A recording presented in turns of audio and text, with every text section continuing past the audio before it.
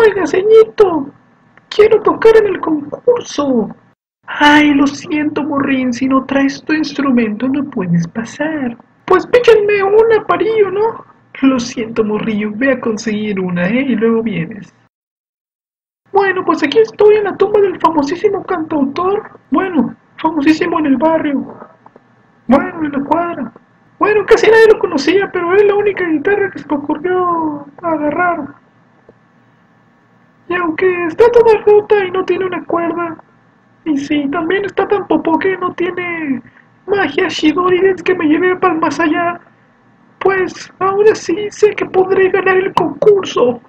Y así, Miguel se fue corriendo a la plazuela a ver si todavía llegaba al concurso. Oiga, señorito, ya conseguí guitarra. Ay, mijo, pues éntrale, éntrale, apúrale.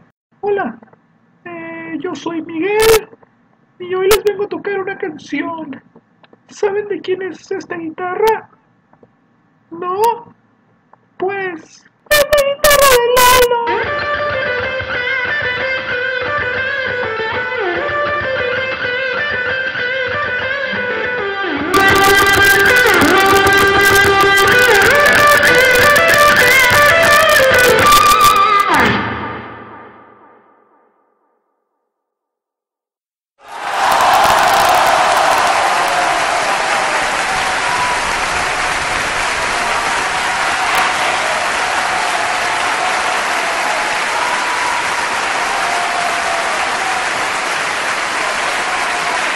Y así, Miguelito pudo ganar el concurso y ser reconocido por todo el pueblo.